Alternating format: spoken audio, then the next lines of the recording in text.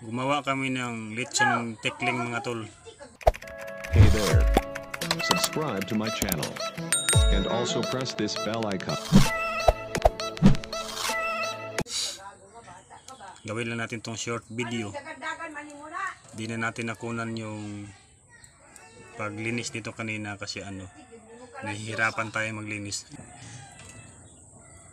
Yan, malapit na maluto yan mga tol. Konting-konti na lang. Kakainin na natin yan ngayon. Nahihirapan kasi tayong mag-video nito. Kaya, tingnan nyo, ang sarap-sarap na.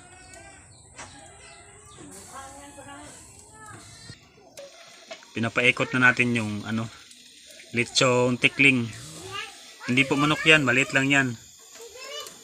Tikling yan galing sa ano, kagubatan. Mga sapat sa ano pala yan. Gagawin natin itong short video. A few moments later.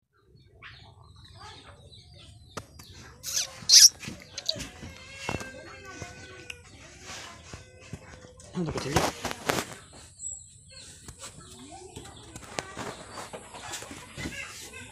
Yan mga tol, naluto na yung ating ibon. Ibon sa layga. Tatanggalin na natin. Tanggalin natin yung ano niya. Wala kasi tayong itak, kaya kutsilyo lang gamitin natin. Ah, sarap. Ah, sarap mga tol. Ito yung recados niya. Sangkap. Yan. Ang Bango-bango. Sarap-sarap. Patas gamay dyan.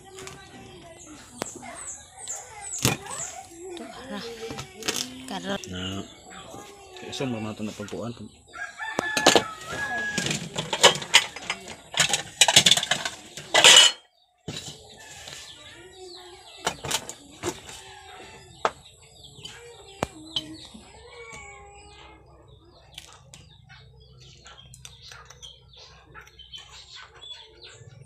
Lagyan natin yung sangkap niya dito sa bowl.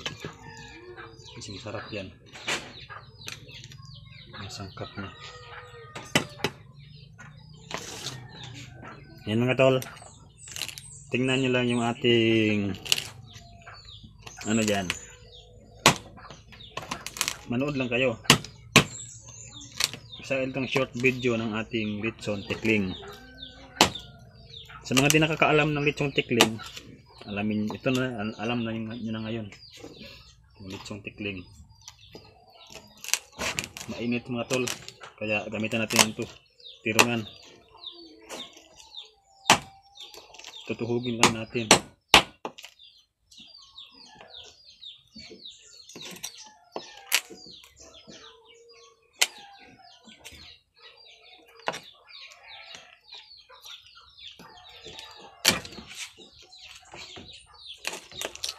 Lambot-lambot na mga tol.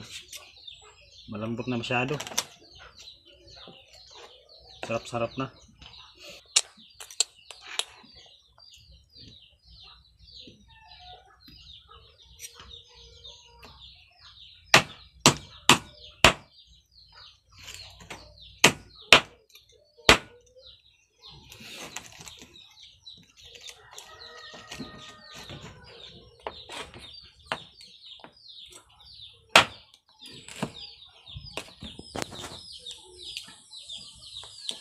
Laki-laki ng hiwa natin mga tol.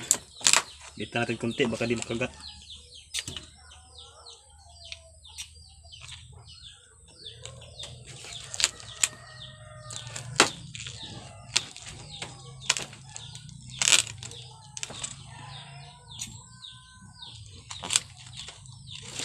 Mura pagkidlat. Im ba im? Naku, ang crispy. Ang crispy mga tol. Malutong.